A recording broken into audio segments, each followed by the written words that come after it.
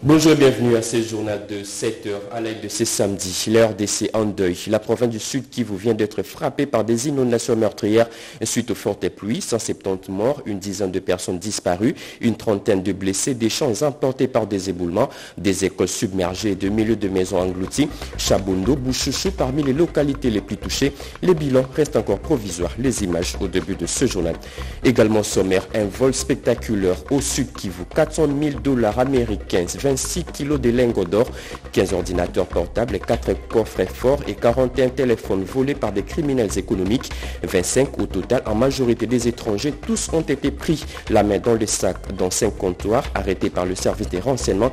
Ces criminels économiques ont été transférés à Kinshasa et seront derrière le barreau pour répondre de leurs actes. Reportage à suivre dans un instant. Et enfin, les bouts des tunnels des revendications des enseignants du primaire, secondaire et ceux des universités semblent être proches d'horizon de ces différentes revendications a été, fait, euh, a été fait hier à la primature entre le Premier ministre et quelques membres et quelques ministres sectoriels pour des solutions rapides. Un cadre de concertation permanent urgent s'est remis en place déjà aujourd'hui pour assurer la paix régulière de ces enseignants. Voilà tout pour les sommaires. Mesdames et messieurs, encore une fois, bienvenue à vous si vous nous rejoignez à la radio-télévision nationale congolaise. Je le disais au sommaire, deux heures et demie de précipitations accompagnées des vents violents. La province du Sud Kivu vient d'être frappée par des inondations meurtrières, 170 morts, une dizaine de personnes disparues, une trentaine de blessés, des champs emportés par des éboulements, des écoles submergées et des maisons englouties, Chabundu et Bouchouchou parmi les localités les plus touchées. Les bilans restent encore provisoires. Plus de détails dans ces reportages.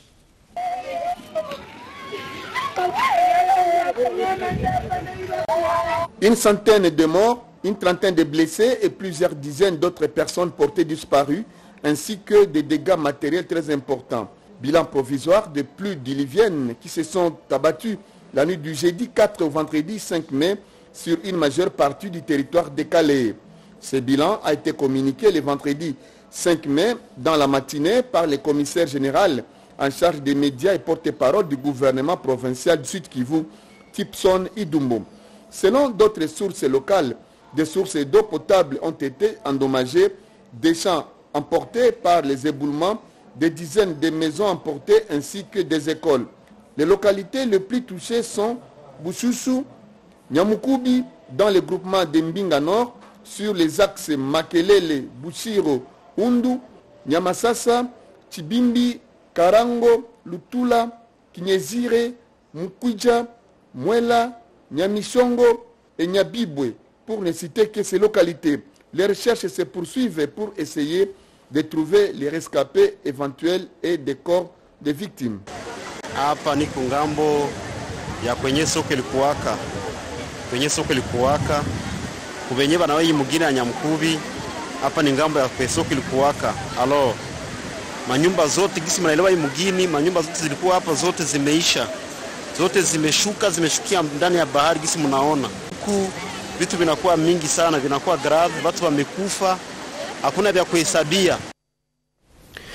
Un vol spectaculaire, toujours dans la province du Sud, qui vaut 400 000 dollars américains, 26 kilos de lingots d'or, 15 ordinateurs portables, 4 coffres forts et 41 téléphones volés par de criminels économiques, 25 au total, en majorité des étrangers. Tous ont été pris la main dans le sac dans 5 comptoirs arrêtés par le service des renseignements. Ces criminels économiques ont été transférés à Kinshasa et présentés aux autorités compétentes, comme nous dit Gaëtan Magalala.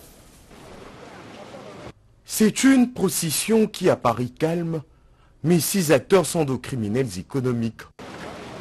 Arrêté le 1er mai au sud Kivu par le service de renseignement et présenté ce vendredi à l'état-major de renseignement en présence de la ministre en charge de la justice, la ministre de Mines, mais aussi celui de l'économie. Que tout celui qui va continuer à soutenir les criminels économiques et complices sera sanctionné. 15 d'entre eux ont été arrêtés en flagrance dans 5 comptoirs au sud Kivu. 12 autres sont accusés de fraude et trafic illicite de l'or vers le pays agresseur de la RDC. Ce n'est qu'un début. Nous allons continuer, nous, au sein du ministère des Mines, à travailler dans la commission de lutte contre la fraude minière avec le soutien, bien entendu, du service de renseignement militaire. 4 coffres forts, 15 ordinateurs portables, 41 téléphones, 2 fours, 2 balances, 2 moules, 26,120 kilos d'or, plus de 400 000 dollars, plus de 6 millions de francs congolais, 125 900 francs rwandais, 4 560 roupies et 1000 shillings ougandais ont été saisis. Il s'agit ici d'un grand combat, d'une grande guerre, parallèle à la guerre qui se passe sur le terrain à l'est de notre pays. Et ce sont justement ces trafics qui permettent de maintenir cette situation d'insécurité à l'est de notre pays. Accusés de blanchiment de capitaux et financement du terrorisme dans l'est de la RDC, ces criminels économiques seront déférés devant leurs juges naturels et répondront de leurs actes. Une centaine de miliciens Maïmaï se sont rendus auprès des autorités locales dans la province du Tanganyika et acceptent d'adhérer au processus de paix dans cette province. Ces combattants ont aussi rendu une centaine d'armées blanches. C'est là de fruit du programme PDD RCS. Plus de précision avec Richard Kalala.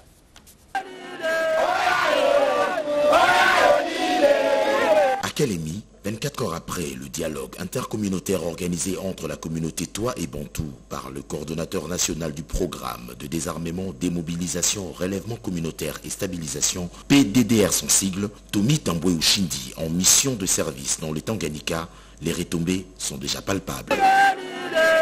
Dépôt d'armes et adhésion au processus de PDDRCS, l'arbre de paix a été planté pour sceller à jamais la cessation définitive des hostilités entre les deux tribus après une longue série d'exactions ethniques sous le haut patronage du président de la République, Félix Antoine Tshisekedi Chilombo, qui en est l'initiateur. Cette activité financée par Peace Building Fund à travers son partenaire de mise en œuvre OIM rentre dans le cadre de la mise en œuvre du premier pilier du PDDRCS sur la paix, la résolution des conflits et cohésion sociale. Signalons que le même dialogue a été organisé à Lomba Katenga, à 145 km de Kalemi, toujours entre les communautés Toa et Bantou, dans les fiefs où règne le groupe armé Apanapale de Mundusi, favorable au désarmement. Un acte historique qui marque la fin des affres des conflits intercommunautaires, salué ici par l'ensemble de la population de cette contrée qui s'est réjouie de l'avènement d'une ère nouvelle.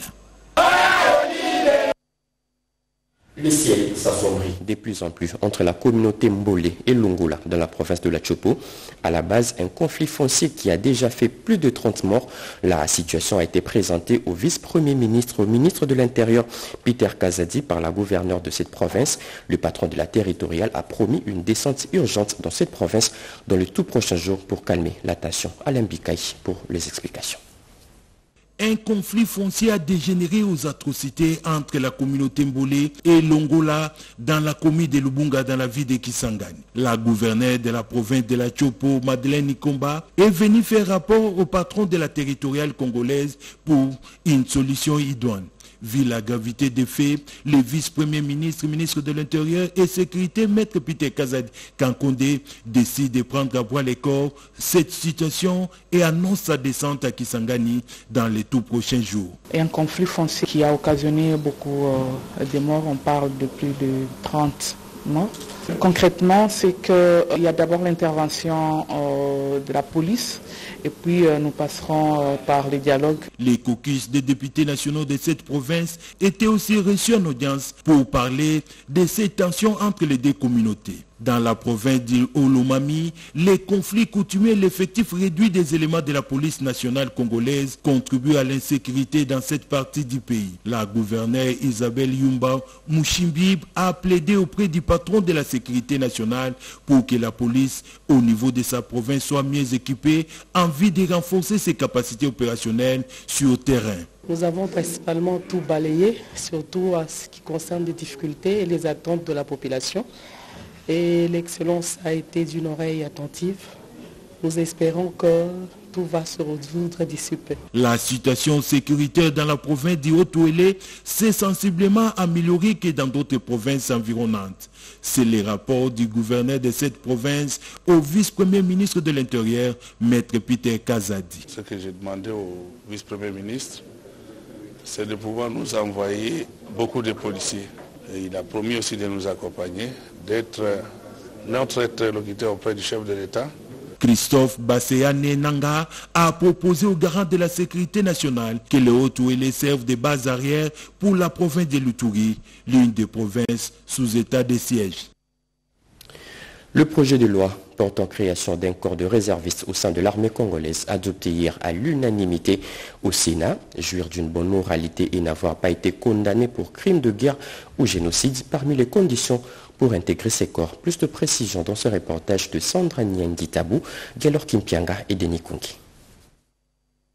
La mise en place du service dénommé Réserve armée de la défense va indubitablement permettre au pays de mieux renforcer la protection de sa souveraineté et de son intégrité territoriale par la participation de tout Congolais à cette noble mission face aux agressions récurrentes que le pays connaît et qui ont amené le chef de l'État à proclamer l'état de siège sur une partie du territoire national. Ce jeudi 4 mai 2023, la Chambre haute du Parlement, sous la houlette de l'honorable président Modeste Bahati, a adopté en seconde lecture le projet de loi portant institution de la réserve armée de la défense en République démocratique du Congo.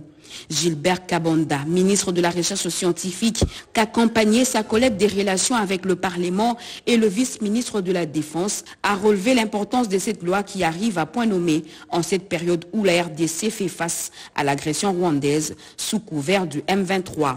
En application de l'article 100.15 de la Constitution, il s'est ressenti le besoin de professionnaliser les forces armées de la République démocratique du Congo en instituant un service de réserve armée de la défense. Toute armée professionnelle et républicaine a en son sein un corps réserviste pouvant venir en appui aux forces armées aussi bien en temps de paix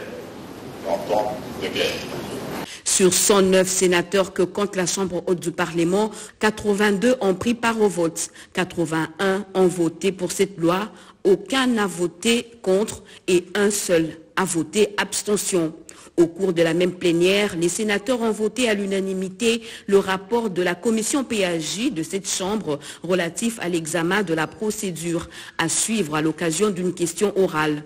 La commission a conclu que le Sénat devait appliquer strictement son règlement intérieur en soumettant l'examen de la recevabilité d'une question orale à l'Assemblée plénière avant d'inviter le membre du gouvernement concerné ou tout autre gestionnaire de l'État à la plénière pour s'expliquer devant les élus des élus conformément aux dispositions de l'article 161 du règlement.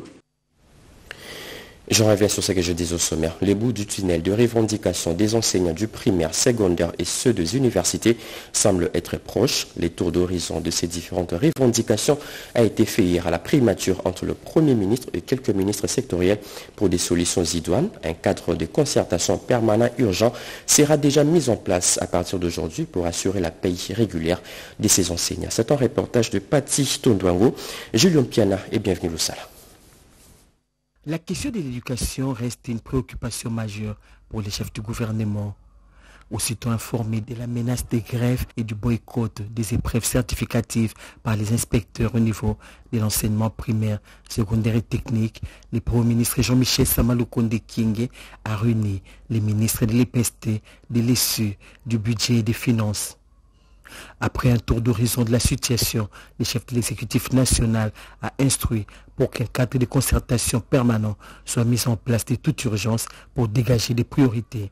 Dès demain, autour du ministre d'État, ministre du Budget, pour que déjà euh, tous nos services euh, techniques, d'INACOP, inspection, ainsi que le secrétaire général, accompagnés de leaders syndicaux, nous puissions déjà étudier comment euh, nous pouvons déjà prioritairement euh, indiquer ce qui peut être dégagé pour essayer de régler les problèmes urgents et tout le reste euh, rentrer dans le, fonctionnement normal et assurer la paye régulière de tout ce qui a été convenu.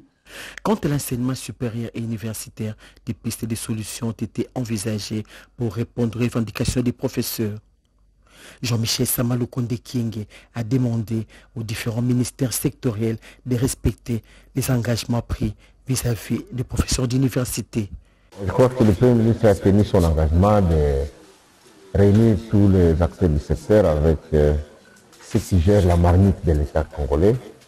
Et donc, euh, il nous a donné des instructions de pouvoir euh, respecter nos engagements. Pour ce qui concerne le professeur, par exemple, les 50% pour lesquels on s'est convenu.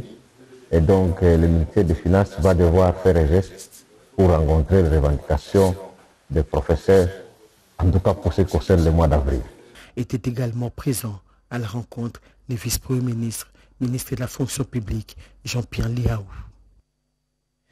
Pénéreux de, farine de maïs dans le Grand Kassai et dans le Grand Katanga, une solution de dépannage vient d'être trouvée en urgence. Un partenariat vient d'être scellé à Lusaka entre la RDC et la Zambie sur la fourniture des engrais de semences améliorées. La délégation congolaise a été conduite par le vice-premier ministre en charge de l'économie, Vital Kamere. Plus de détails avec Annie Balaka dans ses commentaires. La République démocratique du Congo et la Zambie viennent de signer un accord pour pallier à la crise du maïs dans le Haut-Katanga et le Grand Kassai. Dans ce communiqué conjoint, le gouvernement zambien s'engage à fournir des engrais, des semences améliorées à la RDC et faciliter la traversée sur son territoire des remorques transportant des farines de maïs destinées à l'espace Grand Katanga et Kassai. Le vice-premier ministre, ministre de l'économie nationale Vital Kamere, à la tête d'une forte délégation gouvernementale, a pris des mesures urgentes pour booster la production locale, une solution durable à cette problématique. La mission la plus importante, c'est celle qui va se passer ici au Katanga. À l'étranger, nous sommes allés seulement chercher une solution de dépannage pour fournir de la farine au Katanga, mais aussi des semences et des fertilisants, parce que nous estimons que la diversification de la production est le secret pour résoudre le problème, non seulement du Katanga, mais de l'ensemble du pays. Après la République sud-africaine et la Zambie, la délégation a échangé avec les producteurs locaux de maïs et la Fédération des entreprises du Congo au gouvernorat de Lubumbashi. La demande en farine est de l'ordre d'un million de tonnes l'an et les réserves sont presque épuisées, d'où l'urgence d'apporter une solution rapide pour pallier à cette situation. Deux forums différents pour un seul intervenant. Patrick Mouyaya était tout d'abord devant les jeunes entrepreneurs de la FEC. Ensuite, le ministre de la Communication et Médias a pris part à la première rencontre congolaise de recherche sur le journalisme. Gaëtan Magalano nous en dit long. Au meet-up avec les jeunes entrepreneurs, le ministre de la Communication et Médias les a édifiés sur la culture entrepreneuriale. Il y a quelques années, j'avais notamment concouru à la préparation de la Startup Act et aujourd'hui j'étais heureux d'échanger avec ces jeunes qui sont désireux d'entreprendre parce que c'est sur finalement que va reposer le développement de notre pays. Pour le président de la Commission nationale de jeunes entrepreneurs, le choix porté sur Patrick Mouyaya n'est pas un hasard. En tant que porte-parole du gouvernement, il est la bouche autorisée pour édifier le jeune sur les efforts du gouvernement dans la promotion de l'entrepreneuriat en RDC. Le gouvernement pose certains actes, mais on constate que les gens ont du mal à accéder à cette information-là. Et il est impératif que le ministre de la Communication soit partie prenante pour pouvoir stimuler et permettre à ce que cette communication soit largement diffusée au niveau de tous les médias. Dans cette rencontre sur le recherche en journalisme organisée par le laboratoire de recherche en sciences de l'information et de la communication, le ministre Patrick Mouyaya invite le scientifique, organisateur de cette rencontre ainsi que le participant à réfléchir sur le journalisme sous l'emprise des écrans multiples retenait que le laboratoire de recherche en sciences de l'information et de la communication était un espace indépendant de réflexion et de discussion sur les réalités et pratiques socio-professionnelles relevant du champ interdisciplinaire de sciences de l'information et de la communication. La radio-télévision nationale congolaise tourne son regard vers le programme des Nations Unies pour le développement pour moderniser ses équipements. La directrice générale de l'RTNC Sylvie Elengue et le directeur général adjoint Adolphe Voto ont soumis aux représentants résidents du PNUD le 5 piliers sur lequel la chaîne nationale compte travailler pour réussir sa modernisation. Parmi ces piliers, les basculements de l'analogie au numérique. Sous pour le reportage. Le PNUD, Programme des Nations Unies pour le Développement, compte accompagner la radio-télévision nationale congolaise dans son processus de modernisation. Son représentant pays, Damien Mama, a eu une séance de travail avec Madame le directeur général de la RTNC, Sylvie Elengenimbo. En présence du directeur général adjoint et d'autres directeurs, les deux personnalités ont évoqué les différents besoins de la RTNC. Sylvie Elengenyembo a fait savoir à son hôte les cinq piliers sur lesquels la chaîne nationale compte travailler pour réussir sa modernisation. Parmi ces piliers, le basculement de l'analogique au numérique, la redynamisation de la chaîne nationale en province, le renforcement de capacité du personnel. La délégation du PNUD reconnaît que la chaîne nationale reste un outil puissant du développement. La chaîne de services publics dans tous les pays joue un grand rôle. Nous sommes là parce qu'on on a trouvé que c'était important qu'on prenne également en compte la question de la communication et la question de la télévision et la radio nationale dans notre programmation. Et notre espoir, c'est qu'on puisse s'asseoir dans les jours à venir pour regarder de façon très concrète les domaines dans lesquels on peut travailler ensemble. Bien avant la séance de travail, Madame le directeur général de la RTNC a fait visiter à la délégation du PNUD quelques services clés de la RTNC. La visite a commencé par l'Institut congolais de l'audiovisuel, en passant par la rédaction des infos TV, les studios de production des émissions et journal télévisé, le studio radio, la salle de machine, la régie finale, pour terminer au studio Maman Anguébi. L'espoir est grand pour le ministre des Infrastructures. Au plus tard, le 31 décembre, les travaux de construction du premier centre culturel de l'RDC seront terminés. Sur le terrain, le chantier avance à grands pas et 80% des travaux sont déjà réalisés. Alexis Guizarro était sur le terrain pour s'assurer de l'état d'avancement des travaux. Plus de précision avec Érudis Kitutu. Deux mois après la dernière visite qui remonte au mois de février dernier sur ce site, Alexis Guissaro-Movouni, ministre d'État des Infrastructures et Travaux Publics, a voulu se rendre compte de l'avancement de travaux comme il le souhaite. Après inspection et échange avec la partie chinoise qui a soumis quelques difficultés rencontrées dans l'exécution de ce projet, le constat satisfaisant. Nous avons pu constater effectivement des avancées notables par rapport à ce qui était déjà réalisé à l'époque. Aujourd'hui, je pense qu'on est au-delà de 80% de réalisation parce que nous sommes actuellement dans des travaux de finition. Toutes les grosses œuvres ont été réalisées. Aujourd'hui, comme vous pouvez le voir derrière nous, il commence déjà à mettre la peinture extérieure. Il reste quelques aménagements intérieurs. L'entreprise BUCG s'est engagée une fois encore de remettre cet ouvrage au plus tard le 31 décembre de cette année-ci. Alexis Guissaro Mouvouni a rassuré l'entreprise chinoise BICG quant au respect de l'engagement du gouvernement. Nous allons respecter nos engagements. Les problèmes qu'ils ont présentés étaient des problèmes non pas tellement de nature financière parce que de ce côté-là, c'est juste quelques factures en termes de raccordement des réseaux SNEL, des réseaux euh, régis des eaux. Les problèmes étaient beaucoup plus des problèmes de logistique pour pouvoir libérer euh, certains espaces afin qu'ils euh, puissent fournir l'ensemble de l'ouvrage, tels que les parkings également, pour, sur lesquels se trouve actuellement leur base vie. Rappelons que ce centre culturel et artistique de Kinshasa est une première en Afrique centrale. De remerciements après la sortie réussie de l'Union sacrée de la Nation au stade de martyr le 29 avril dernier, le secrétaire général de l'UDPS était devant le militantes et militants de cette formation politique pour leur féliciter de leur mobilisation et implication. Plus de précision avec Alain Bikaï. Après les cartons pleins de l'Union sacrée au stade des martyrs de Kinshasa, le chef de l'état-major de l'IDPS a battu encore les rappels des troupes ce jeudi 4 mai. Les cadres et combattants du parti Chéra Félix, Antoine Tshisekedi ont été remerciés par leur secrétaire général pour la mobilisation observée lors de la sortie officielle de l'Union sacrée de la nation. Vous devez garder les cadres pour les batailles électorales de cette année en vue de la réélection de Félix Antoine Tshisekedi Tilombo et accorder au parti la majorité pour que l'UDPS dirige la primature à Rancherie Augustin Kabouya. C'était aussi l'occasion pour lui d'attirer l'attention de l'assistance sur des attaques stériles orchestrées par certaines officines politiques contre sa personne. Face à toutes ces attaques, Augustin Kabouya reste imperturbable et focalisé sur les seconds mandats du chef de l'État. Pour atteindre cet objectif, le secrétaire général recommande aux uns et aux autres de surmonter les clivages partisans qui ne profitent pas au parti, surtout s'unir autour de l'essentiel.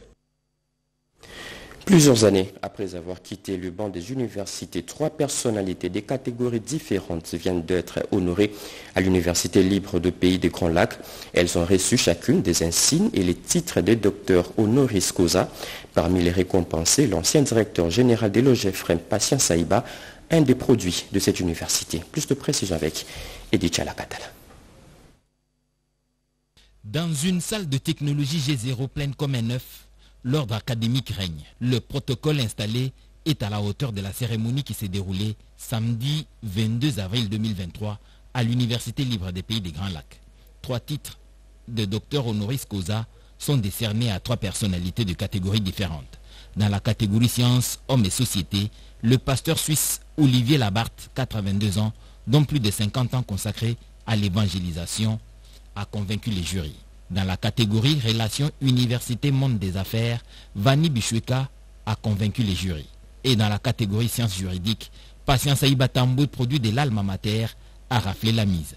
Le professeur Aristide Kaindo, doyen de la faculté de droit de l'Université libre des Pays des Grands Lacs, est passé à la tribune en sa qualité du président du jury pour expliquer les motivations. Plus jeune mandataire à la tête de l'OGFREM, il a honoré l'ULPGL par sa gestion et la perche étendue à ses ressortissants. Patience Aïba soutient les étudiants brillants de l'ULPGL et garde le cordon ombilical avec son université.